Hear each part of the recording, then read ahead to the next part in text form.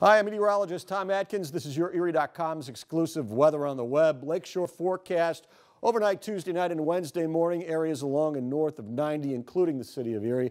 Snow showers up to an inch of accumulation. Lows close to freezing by morning.